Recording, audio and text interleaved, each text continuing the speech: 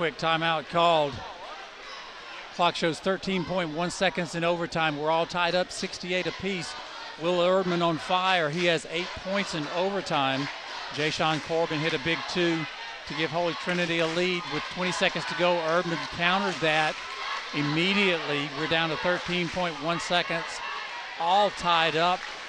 Holy Trinity will inbound the basketball as we come out of this timeout.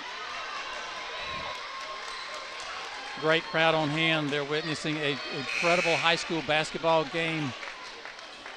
First horn goes off. Now the Holy Trinity comes out of their timeout.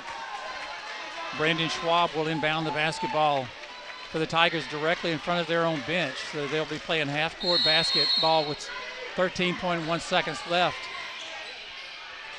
Looking for a teammate. They find Jay Sean Corbin. Clock starts. We're all tied up. Winner advances. Loser goes home. Corbin with the basketball working one on one. Driving the lane. Shot no good. Rebound underneath. Corbin gets his own rebound. Puts it back in.